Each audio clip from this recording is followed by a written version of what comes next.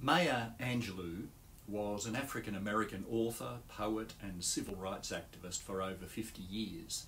She also wrote plays, movie scripts, and television shows, and in her lifetime she won numerous awards and more than 50 honorary degrees from universities. After she died in 2014, a documentary was made about her life called And Still I Rise. Maya recited one of her poems at Bill Clinton's inauguration as president. One of her seven autobiographies is called I Know Why the Caged Bird Sings. Another of Maya's poems is called Touched by an Angel.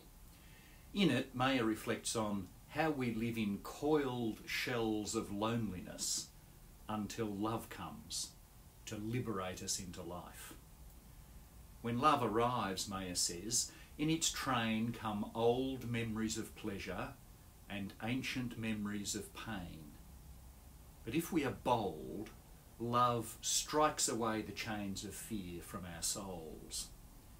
The poem ends with these words about what happens when love comes. We are weaned from our timidity, she says.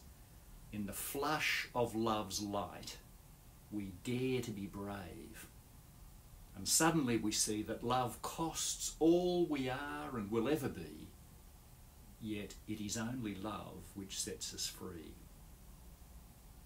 I wonder if Maya had the empty cross and the empty tomb in mind as she wrote that poem.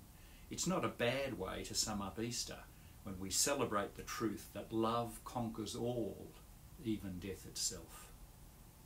When we gaze on the empty cross and into the empty tomb, we suddenly see that love costs all we are and will ever be.